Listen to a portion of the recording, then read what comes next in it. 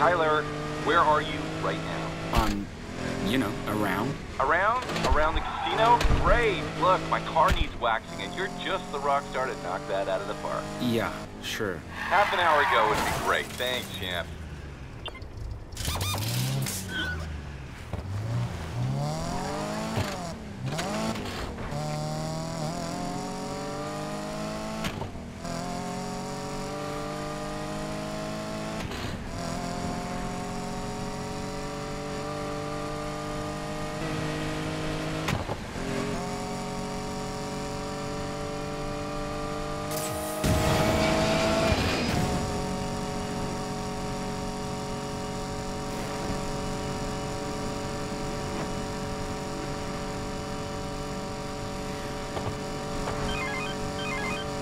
Tyler, hey, bud.